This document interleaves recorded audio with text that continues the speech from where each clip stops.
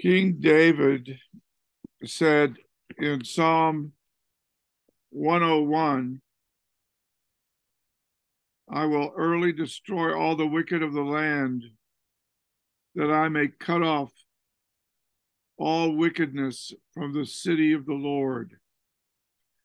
And here we see that King David meets out justice. And in Psalm 101, verse 8, he talks about the workers of iniquity, how he's going to cut them off.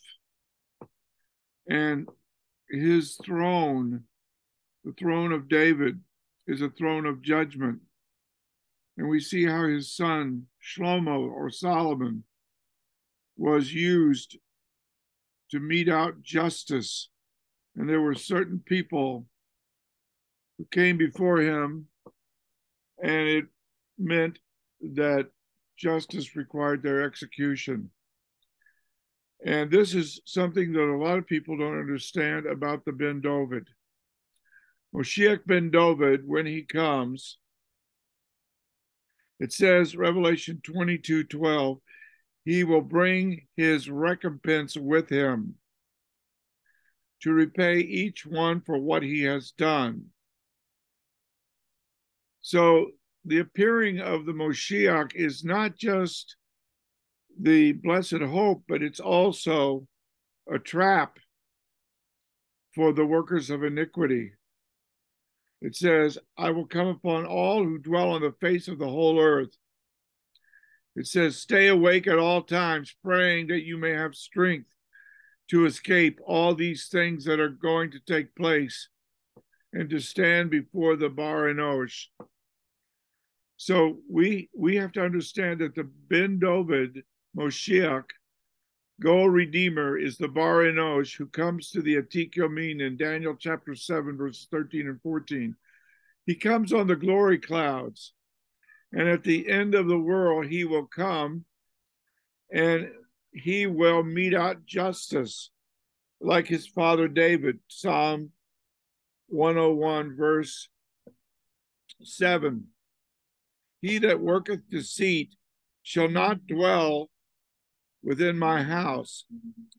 He that telleth lies shall not tarry in my sight. I will early destroy all the wicked of the land, that I may cut off all evildoers, all workers of iniquity from the city of the Lord. So when he comes, when the new Jerusalem comes down from heaven, when all these things, these latter day fulfillments of prophecy come to pass. It will be a fearful thing to fall into the hands of an angry God and his Moshiach ben David. And we need to look at Psalm 101, verses 7 and 8, and we need to realize why we are not supposed to stand around and look up into heaven because this Moshiach ben David Yeshua, who was taken up from you into heaven, will come in the same way as you saw him go into heaven. And he's coming with his angels in the glory of his Father. And then he will repay every person according to what he has done. Matthew chapter 16, verse 27. Many people are celebrating the birth of the Moshiach today. But as lightning comes from the east and shines as far as the west, so will be the coming of the Bar Enosh. He will come like a thief in the night, and we have to stay awake because we don't know on what day he is coming. Hallelujah. And Moshiach, when he comes, Moshiach, who is your life, when he appears, we will appear with him in glory. And that's why we look to the day of the Lord, the Yom Hashem. This, is why we abide in him, so that when he appears, we may have confidence and not shrink from him in shame at his coming. uh, First John in chapter 2, verse 28 says that we want to be blameless, spirit, soul, and body. We want to be sanctified. We want to miss the great white throne judgment that the world will have to endure. Because if we know him, if we are caught up with him now, we'll be caught up with him then. If we love him, if we love his appearing, uh, even if we fall asleep, it says those who have fallen asleep will will rise first. Uh, he will descend from heaven with a, a, cry of command. There will be a, the voice of the uh, archangel, the sound of the shofar of Hashem. The dead in Moshiach will rise first. Then we who are alive, who are left, will be caught up together with him in the clouds to meet the Lord in the air. And so we shall ever be with the Lord, always with the Lord, because he has fixed a day in which he will judge the world in righteousness.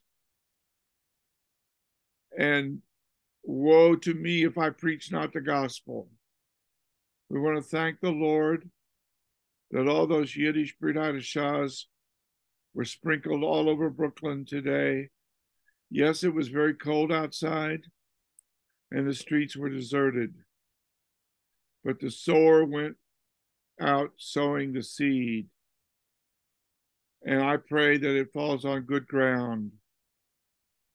And I want to live every day as if it were my last.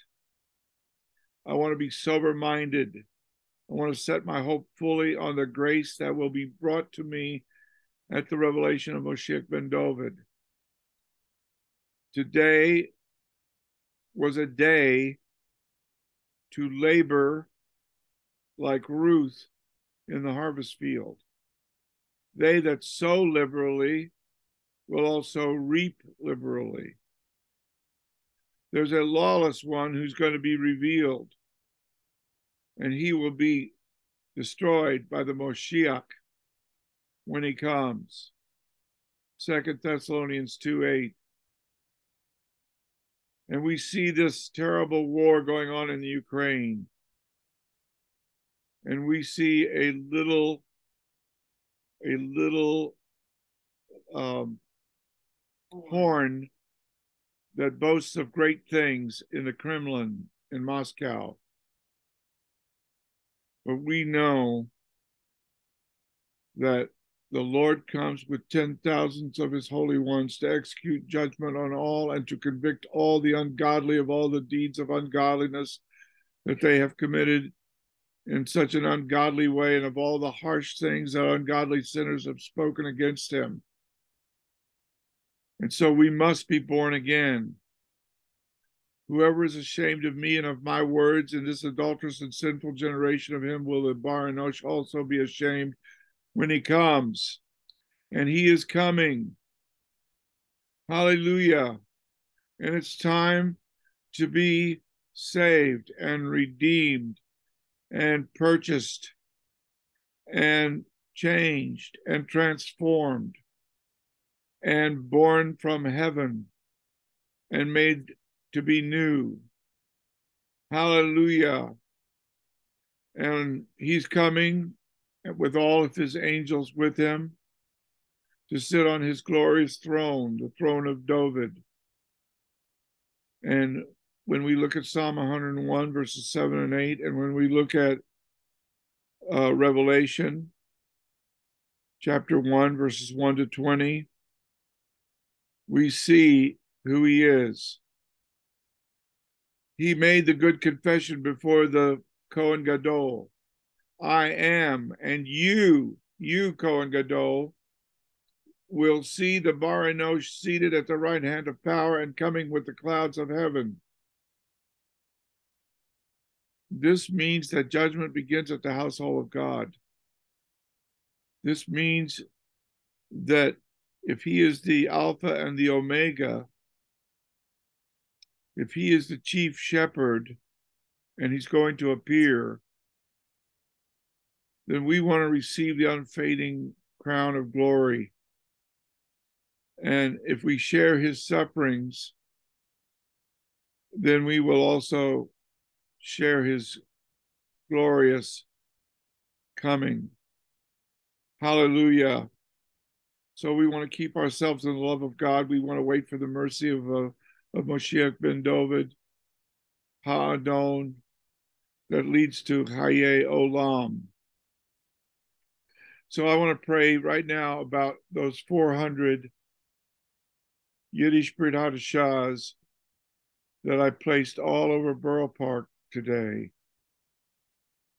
I want to ask you, Lord, to plant those those in good ground that will bring forth 30 fold, 60 fold, 100 fold. Hallelujah. And I want to ask you, Lord, to help us. Who is sufficient for these things?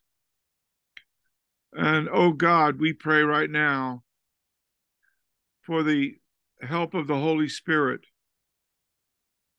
that you, Lord, will do great and marvelous things that we know not of.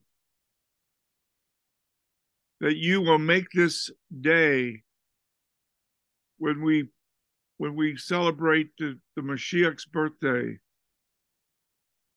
a day when many pick it up and read it, like Augustine,